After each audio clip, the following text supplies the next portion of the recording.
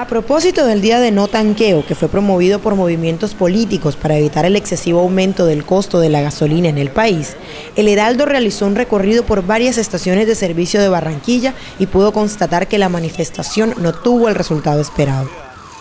Alexis Bermúdez, administrador de la estación de servicio San Jorge, nos dio su opinión al respecto. Normal, la verdad ha sido normal. Se, algunas manifestaciones se presentaron en otras estaciones, pero el consumo con respecto a los clientes, normal todo el día.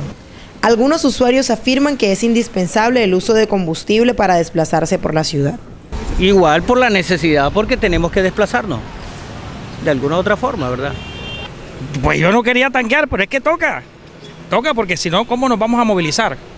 Sin embargo, no están de acuerdo con el alza mensual de la gasolina.